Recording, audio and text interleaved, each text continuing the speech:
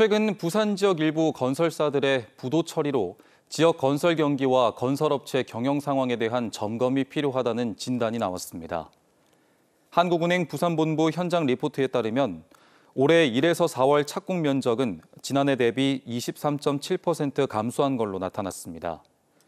한국은행 주택가격 하락세가 지속되고 미분양 주택이 크게 늘어나는 상황에서 공사대금 수령이 지연되는 등 자금 흐름이 악화되는 부분도 지적했습니다.